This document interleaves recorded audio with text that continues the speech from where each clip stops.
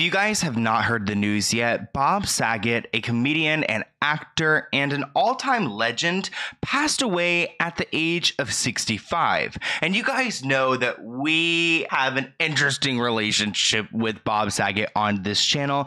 And today I just want to briefly talk about his passing and just the shocking news because so many of you guys have been hitting me up because, as you may or may not know, uh, Bob Saget has tried to come for me before legally because we had a moment on this channel about nine months ago where I posted a video about him that went viral. And I don't like, okay, viral is like a weird term because like people just like, if your like mom gets a bunch of face like likes on her Facebook picture, it's gone viral. But like ultimately, it really did. And I've never really had a moment like that as a creator. And when I put out this video, the the the part that was like really interesting i guess is because a lot of people made videos about my video. So then tiktoks were being created. Those were getting millions of views even though my video went to like 800000 or 900000 views.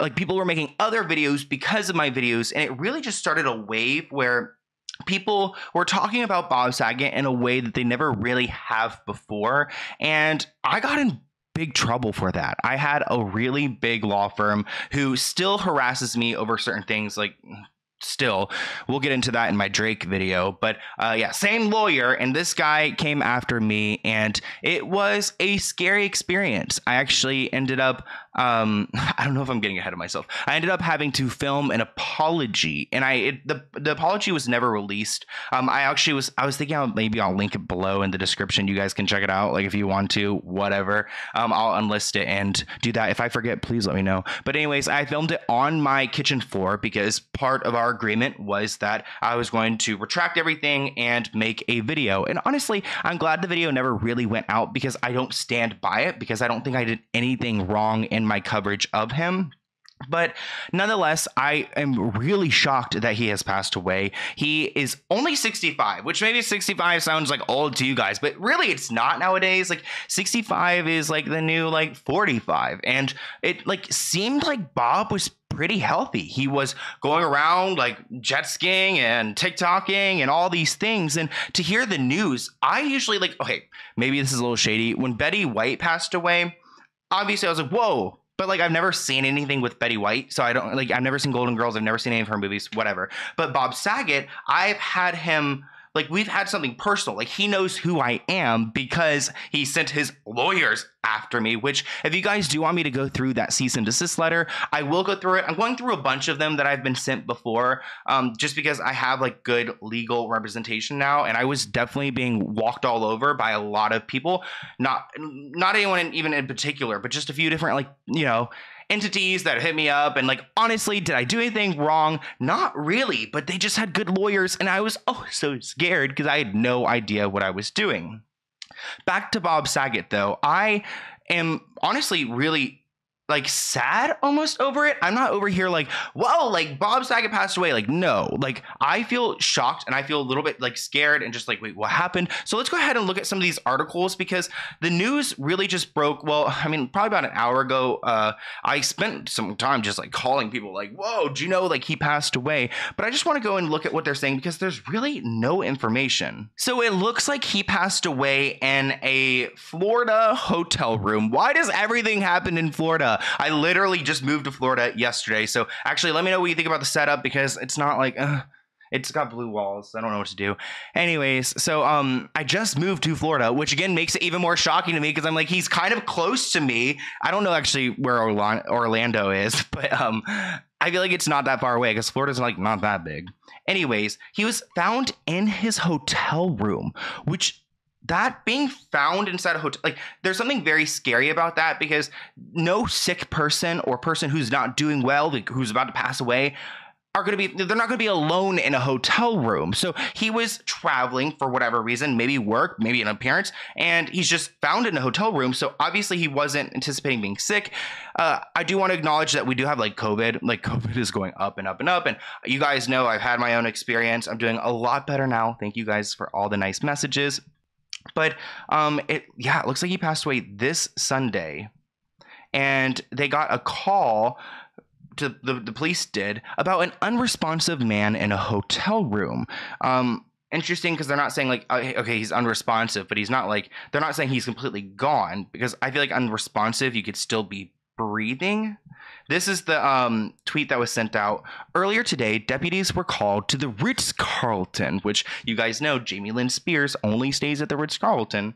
But they got a call about an unresponsive man in a hotel room identified as Robert Saget, and he was pronounced dead on scene. No signs of foul play or drug use.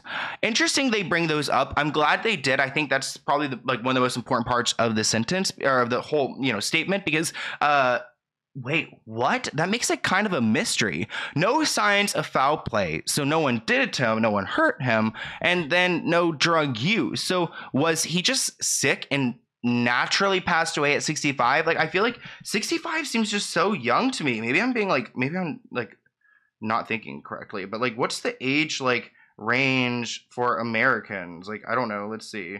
Um, like, I don't even know how to Google that. Like, what do you Google? Like, what's the rate? I guess like maybe 65 does fall into that time period, but uh, on average, when do people die? I don't know what to. How do you Google this? I don't know how to Google this. Oh, 79 to 78. So yeah, like 10 years kind of early. Like something's sus here.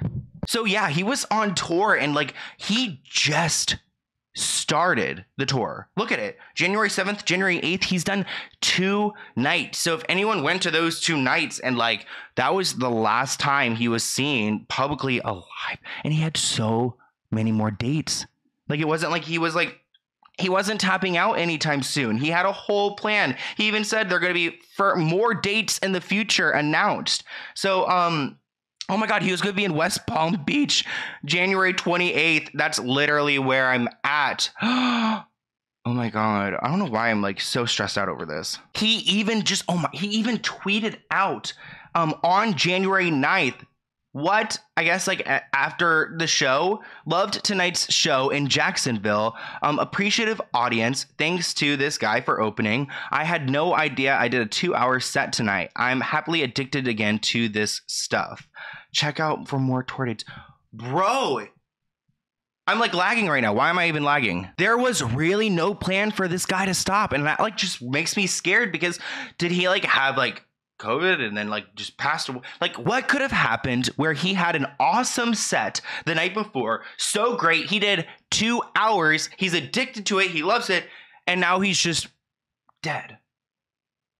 Something just doesn't seem to add up to me. And honestly, you guys know we've had our issues with Bob Saget before, but like, it says no foul play, but you never really know. And I really hope there is some type of investigation because, um, something about this doesn't seem right. Like when Betty White passed away, we were kind of like, oh, like she passed away. Like people have been like preparing this for a while. I remember like Fox had a thing that went up and it was like, it said that she died like months before she even actually passed away. Um, so like people were prepared for that. People weren't prepared for this Bob Saget, and I'm like, I honestly do feel really bad just in general for him, and honestly to his family. So um, at the end of the day, maybe he wasn't a great guy. We have talked about that in a previous video, but like no one deserves to like pass away in some mysterious way and it's like it'd be different if he was like you know kind of gone away and hidden and like relaxed and retired but this was a working man with a whole plan in 2022 to come back and do a comedy tour and